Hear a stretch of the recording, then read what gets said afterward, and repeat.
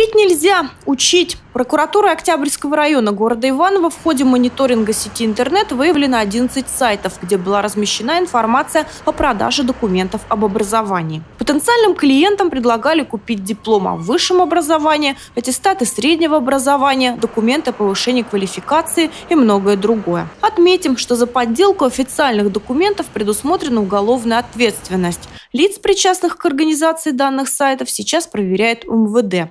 Кроме того, само распространение подобной информации нарушает права неопределенного круга лиц. По результатам проверки прокуратура Октябрьского района города Иваново направлено 11 административных исковых заявлений в Ленинский районный суд о признании информации о продаже документов об образовании незаконной с дальнейшим блокированием сайтов э, органами Роскомнадзора. Данные требования удовлетворены в полном объеме.